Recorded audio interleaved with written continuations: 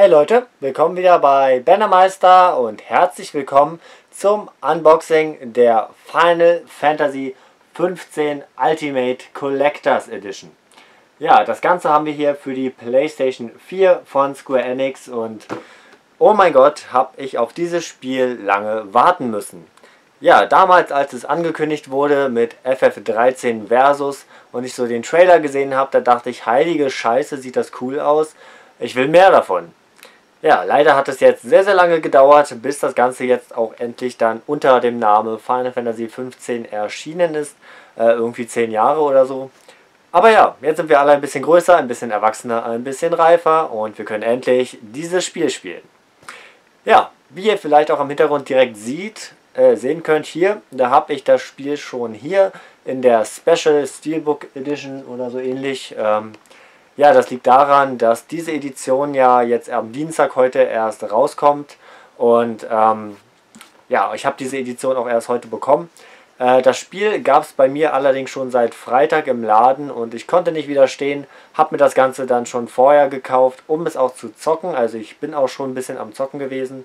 Und das Ganze geht dann an den Peter. Da auf jeden Fall einen lieben Gruß an dich. Und ich werde dann das hier behalten. So. Ja, ich weiß gar nicht genau, wo ich anfangen soll. Wie wäre es erstmal mit dem Preis? Das Ganze gab es im Square Enix Online Shop für 269,99 Euro, wenn ich mich da jetzt nicht ganz irre.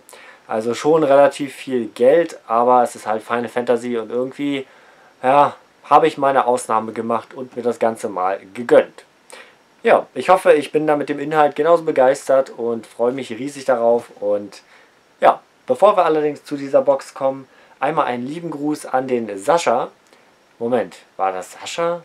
Ich glaube ja, Sascha. Ja, ich glaube, es war Sascha. Ja, er hatte nämlich gesagt, ähm, dass er ein großer Fan ist und sich sehr freuen würde, wenn ich ihn in einem Video mal grüße. Also liebe Grüße an dich. Ja, so, bevor wir jetzt aber mit der Box anfangen, muss ich euch zeigen, sind hier auch noch Final Fantasy 15 Postkarten. Das packe ich nicht weiter aus, das sehe ich, ihr seht jetzt also nur eine. Und ich weiß gar nicht, ob die eigentlich nicht in der Box hätten drin sein sollen. Auf jeden Fall waren die in meinem Square Enix Paketkarton und die waren oben so reingelegt und dann zugeklebt, dass sie an der Seite schon rausgeguckt haben. Also die hätten locker rausfallen können oder der Paketzusteller hätte sie mal mitnehmen können. Ja, ein bisschen doof, aber immerhin waren sie noch dabei, Gott sei Dank. So, jetzt kommen wir aber zur Box. Also, einmal vorne haben wir Noctis und Gladius drauf. Sehr cool. Und da steht natürlich ab 12 freigegeben, einmal USK und einmal FSK, weil hier das Spiel und auch Filme drin sind.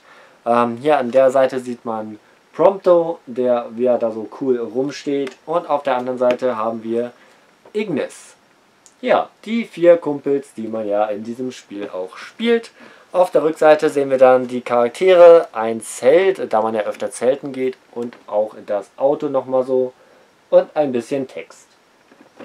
Ja, das Ganze ist auch relativ schwer, das denkt man gar nicht so, aber es ist doch ein bisschen schwerer, als man so denkt. Und auf der Oberseite haben wir hier übrigens noch das Logo, welches auch sehr schön aussieht, wie ich finde. So, jetzt werde ich das Ganze aber endlich öffnen mit diesem tollen Messer hier. Und werde mal schauen, dass ich das natürlich ganz, ganz vorsichtig mache, da das doch ein, wie gesagt, finde ich jetzt schon teures Stück war. Und da will ich natürlich nichts kaputt machen. Ja, ich muss mal gucken, wie ich das jetzt am besten hier öffne.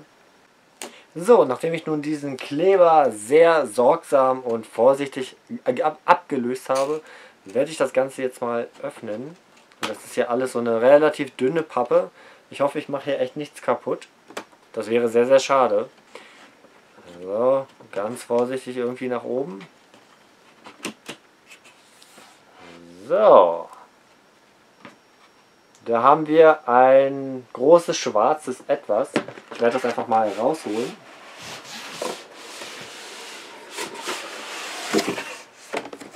So, dann kommt diese lapprige Box mal an die Seite. Und dann haben wir hier Final Fantasy 15 Ultimate Collectors Edition. Diese Box erinnert mich gerade so ein bisschen an ähm, Castlevania Lords of Shadow 2, die Dracula Tomb Edition. Die sieht ja auch so ein bisschen so ähnlich aus. Und ja, dann würde ich sagen, werfen wir mal einen Blick rein. Ähm, worüber ich übrigens jetzt sehr gespannt bin, ist, ob ich die richtigen Steelbooks hier drin habe, da wirklich viele Leute, wie ich gelesen habe, ähm, die falschen drin haben und da gerade dabei sind, das mit Square zu klären und die sind auch schon am Klären. Ähm, ja, ich bin gespannt, welche ich jetzt hier drin habe. So, einmal geöffnet und dann haben wir hier einmal, was ist das? Äh, etwas sehr Großes. Ah, okay, und dann das hier. Ähm, das hier zeige ich, oh, das kann ich sogar auch, okay. Also ich werde auf jeden Fall erstmal diese Box hier wegstellen. So. So. So. Ja, also, einmal haben wir hier die Final Fantasy 15 Play Art Action Figure Kai Noctis aus der Ultimate Collectors Edition.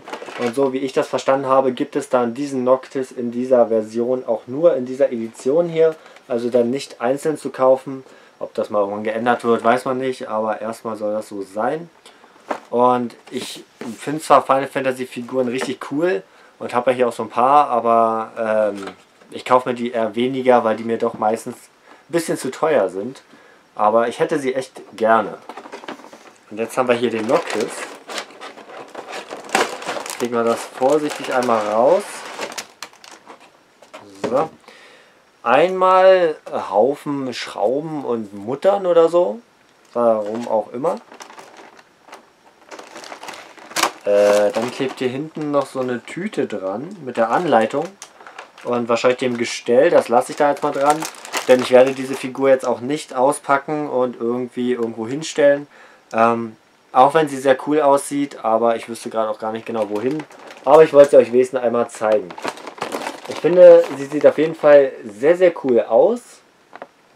Und so zum Hinstellen oder so ist das doch richtig, richtig cool. Nur sind so eine Figuren meiner Meinung nach immer ein bisschen sehr teuer. Deswegen kaufe ich mir sowas halt nicht. Aber diese Figur ist hier dabei und ich wollte sie euch mal zeigen. So, jetzt haben wir diese schöne Box. Und diese schöne Box hat auf jeden Fall ein sehr schickes Artwork, was man halt so kennt von Final Fantasy. Ich zeige euch das mal hier so ein bisschen. So. Und so. Und dann auf der Rückseite. Ich glaube, das ist die Rückseite. Und so. Ja, wo machen wir das Ganze auf? Ich glaube hier vorne. Ja. Und dann haben wir hier wohl alles so drin, was man so haben möchte und sollte und will. Einmal haben wir. Na, ich fange mal hier oben an. Also wenn ich das richtig sehe, habe ich die richtigen Steelbooks. Das ist auf jeden Fall sehr, sehr gut. Ich habe hier einmal Final Fantasy 15 äh, und King's Glaive Final Fantasy 15. Das ist dann der Film. Da sieht man hier vorne Noctis wieder richtig cool drauf. Und auf der Rückseite haben wir hier Gladius. Und wenn wir das Ganze öffnen, dann habe ich hier einmal auf jeden Fall äh, Download-Code-Sachen. Die sind ja auch noch dabei. Das lege ich gleich mal weg. Und dann haben wir hier das Spiel und den Film. Den Film habe ich übrigens noch nicht gesehen, weil ich halt auf diese Edition hier gewartet habe und werde ihn mir dann auf jeden Fall ansehen und ich bin schon sehr gespannt, ähm, wie cool er ist. Also ich bin mir ziemlich sicher, dass er mir gefallen wird, aber wie sehr wird er mir gefallen, ist die Frage. So, die ganzen Codes lege ich mal kurz beiseite. Dann habe ich hier noch so ein Zettelchen, nicht so wichtig. Dann haben wir hier noch so ein bisschen Werbung, glaube ich, für World of Final Fantasy, I am Setzner ähm, und worauf ich mich natürlich auch sehr freue, Kingdom Hearts 2.8. Ja, sehr, sehr cool. Und dann haben wir hier noch so eine Anleitung. Äh, sieht auch so ein bisschen so aus wie eine Anleitung, aber ist was ganz anderes. Ähm, ja, also es sieht aus wie eine Anleitung. Hinten haben wir noch die Charaktere drauf. Und wenn man das Ganze öffnet, dann steht hier noch, ich glaube, das ist wahrscheinlich so ein Danke oder so, ähm, an all die Leute, die das Spiel gemacht haben. Die haben dann hier so alle mal unterschrieben. Oh, so. Also auch sehr, sehr cool. Ist dann also doch keine Anleitung, aber auch was sehr cooles. Das legen wir jetzt mal hier so hin. Dann haben wir hier, wie gesagt, das zweite Steelbook, welches halt dann auch so aussieht, wie es soll. Ich hoffe, das stimmt dann auch soweit. Ähm, da haben wir dann Ignis vorne drauf und Prompto. Und auf der Innenseite, da haben wir hier einmal noch so ein kleines Heftchen. und den Blu-ray Disc Special Soundtrack von Final Fantasy XV und Final Fantasy XV Brotherhood. Das ist der Anime, den es extra zum Spiel gibt. Der hat äh, fünf Folgen und da sieht man dann, wie sich die Charaktere eigentlich kennengelernt haben und warum sie halt dann so ein bisschen befreundet sind. Das Ganze habe ich mir schon bei YouTube mal angesehen. Jetzt kann ich mir nochmal auch in sehr guter Qualität dann ansehen. Ähm, fand ich auf jeden Fall sehr interessant, damit man auch ein bisschen mehr über die Charaktere dann weiß. Und würde ich sagen, lohnt sich schon, sich das mal anzuschauen. Und dann habe ich hier noch etwas. Ein Buch, das Final Fantasy 15 Artbook, also The Art of Final Fantasy 15. Hier vorne so richtig cool mit der 15 in Blau, leuchtet so richtig cool. Und auf der Rückseite sieht man nochmal das mit dem Zelt, dem Auto und den Charakteren. Das Ganze ist eingeschweißt, das wusste ich gerade gar nicht. Und daher werde ich es auch eingeschweißt lassen und euch leider nicht daran teilhaben lassen. Also wer das Ganze sehen möchte, der muss dann ein anderes Video schauen. Und wenn ich mich jetzt nicht irre, dann war es das auch mit diesem Set. Also wie gesagt, eine große Box, dann diese Postkarten, das Artbook, die Figur, das Spiel, der Film, der Anime, der Soundtrack und die Download-Codes und das alles für einen doch relativ teuren Preis, wie ich finde. Aber ja, jetzt habe ich das Ganze hier. Äh, ich hoffe, das Video hat euch trotzdem gefallen, auch wenn ich vielleicht nicht alles ganz detailreich gezeigt habe. Und ich werde nun ganz viel Spaß mit Final Fantasy 15 haben. Und ich habe ja erwähnt, dass ich das Spiel schon hier habe und auch schon gespielt habe und kann euch jetzt noch so meinen ersten kleinen Eindruck geben. Äh, ich bin jetzt so bei 13 Stunden ungefähr und ich sag mal so, alles so von Gameplay her, von der Grafik her, ist wunderbar, gefällt mir alles sehr gut. Ähm, dann habe ich ja jetzt zum ersten Mal so ziemlich die deutsche Sprachausgabe mir auch angehört und habe sie auch eingestellt. Ähm, und ich muss wirklich sagen, also mir persönlich gefällt sie, ich finde sie cool, ich finde sie passend. Äh, alle so, ja, haben eigentlich Stimmen, die auch dazu passen, wie ich finde. Also sehr cool gemacht. Die einzige Stimme, die ich nicht so mag, ist die von äh, Sydney, also von Sid, von der Frau. Ähm, die finde ich klingt so ein bisschen älter, als sie vielleicht eigentlich klingen sollte. Aber weiß ich nicht. Also da hätte man vielleicht eine andere nehmen können. Also ich habe mich ein bisschen gewundert, als ich sie das erste Mal gehört habe, dachte ich so, hä, okay. Aber gut, das ist jetzt, sie ist ja trotzdem okay, aber da hätte man vielleicht noch eine bessere nehmen können. Sonst bin ich da sehr zufrieden und wie gesagt, vom Gameplay her gefällt es mir sehr gut.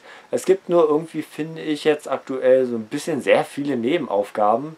Ähm, man muss dann da, ja, kill mal die Gegner, mach mal das und hol mal diesen Gegenstand für mich da ab und so weiter. Und man ist äh, eigentlich nur am Hin und Her rennen die ganze Zeit. Und immer wenn du was abgegeben hast, dann hat er auf einmal noch einen Auftrag und dann musst du wieder was holen für den und so. Ja, mal sehen, wie das so wird, aber ich bin dabei, das auch alles zu machen. Ähm, ich habe jetzt eigentlich keine Lust, da so durchzurennen. Ich habe immerhin so lange drauf gewartet, da will ich mir auch alles schön ansehen.